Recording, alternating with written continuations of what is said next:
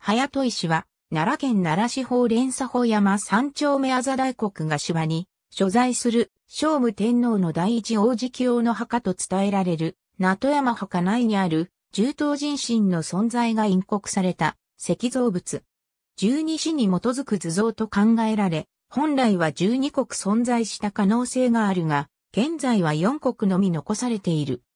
名戸山母隼人石がある名戸山墓の一人期5年9月13日に、生後1年未満で養成した元王の墓と伝わる、名戸山墓は、計10メートルほどの円形墳墓、あるいは方形墳墓である。隼人石は、墳丘の四隅に一国ずつ置かれている。石材は両奇石安山岩である。各石に付された番号は、参考文献に習った。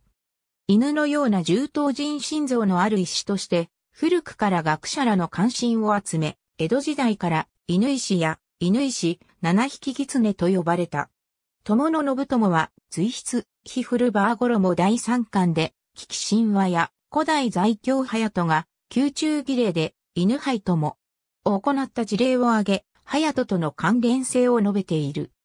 現代では、子に、北、ウに、東と掘られていることや、海半島の白木王母の周囲にある石に見られる事例などから、これら隼人石は、隼人とは直接関係せず、本来は十二国あり、十二市を表したものとみて、間違いないとされている。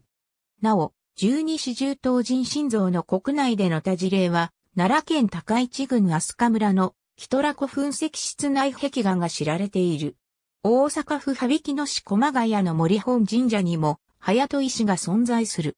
こちらは同じモチーフの図像を左右対称にした一体の石造物で、造流年代は不明だが、名戸山他の第一国によく似ている。ありがとうございます。